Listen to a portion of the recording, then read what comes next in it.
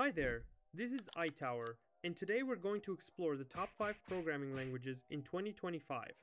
Whether you're a beginner wondering where to start or an experienced developer looking to stay on top of industry trends, this video will help you understand which languages are in demand and where the tech world is heading. Before we dive in, I'd really appreciate it if you could subscribe to the channel and give this video a like. It truly helps support the channel and motivates me to create even more valuable content for you. We'll start with Python, a widely recommended language that stands out for its simplicity and readability. It's not only popular among developers, but also highly favored by recruiters due to its widespread use. The key strength of Python lies in its clear and easy to understand syntax. If you can read an English sentence, you'll be able to read Python code as well. Python's versatility is another major benefit. It's used across a variety of fields, including web development, data science, machine learning, and automation.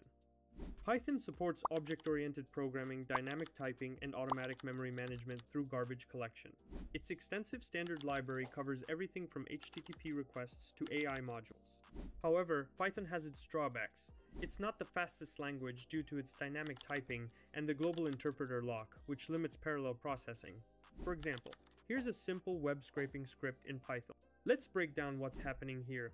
First, we import the requests and beautiful soup libraries, which are needed for working with HTTP requests and parsing HTML.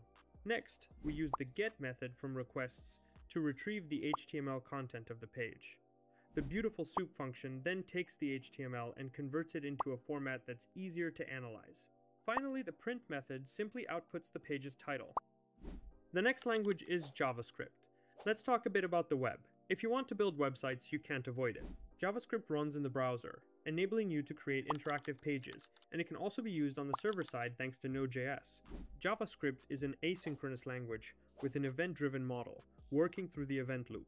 It supports ECMAScript standards and has a promise system as well as async and await for convenient handling of asynchronous operations. The main feature is its ability to run both on the client side and server side. However, JavaScript has its drawbacks, such as the lack of strict typing, which can lead to unexpected errors.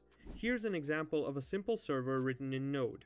We import the built-in HTTP module, which allows us to create servers. We then call create server method, which takes a request handler function.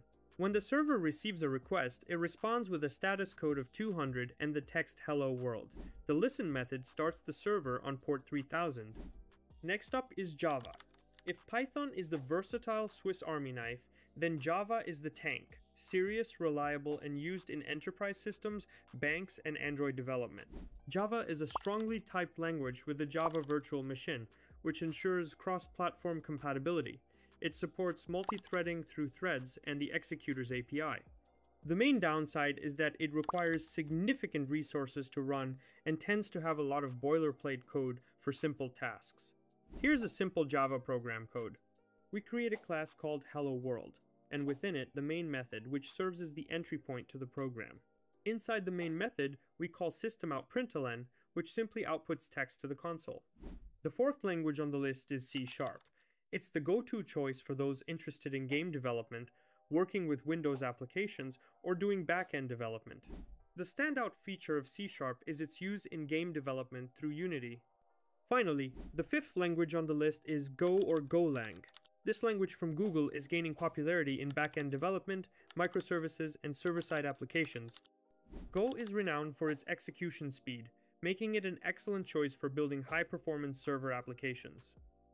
However, due to its simplicity, Go lacks some features found in other languages like Python or Java, which might limit its use for more complex projects.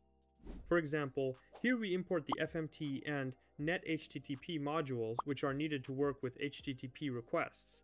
The handler function receives the incoming request and responds with hello world.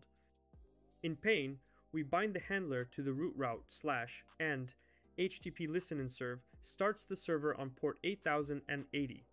In conclusion, I recommend always keeping an eye on programming languages and their development. Look for something new, keep learning, and improve your skills. This was iTower. See you next time.